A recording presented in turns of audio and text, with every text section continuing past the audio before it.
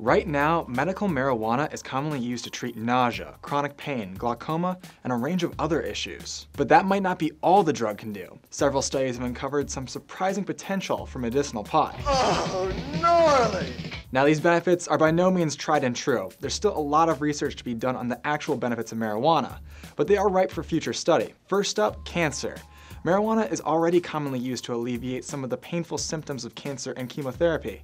But there's some research suggesting marijuana can actually delay or reduce tumors. THC, the active ingredient in marijuana, has been shown to reduce tumor growth in lab mice and human tissue. Researchers believe the chemical triggers certain receptors that prevent tumors from growing. Second up, the lungs. Despite all the coughing jokes, marijuana isn't linked to lung damage. In fact, it might improve how lungs function. A study published in the Journal of the American Medical Association found while cigarette smoke damaged lungs, moderate marijuana smokers showed greater lung capacities than non-users. One of the researchers told Time that inhaling deeply when smoking pot could be a sort of exercise that helps expand lung capacity.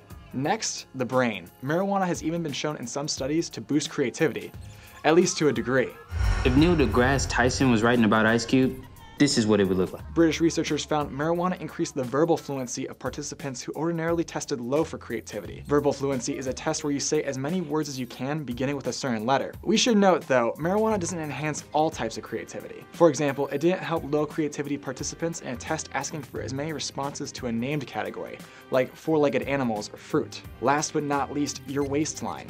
In spite of the so-called munchies, evidence shows marijuana is associated with lower rates of obesity and diabetes. And a study published in the American Journal of Medicine found smokers have smaller waistlines than non-smokers. Again, these studies aren't conclusive, and we're not saying you should start smoking.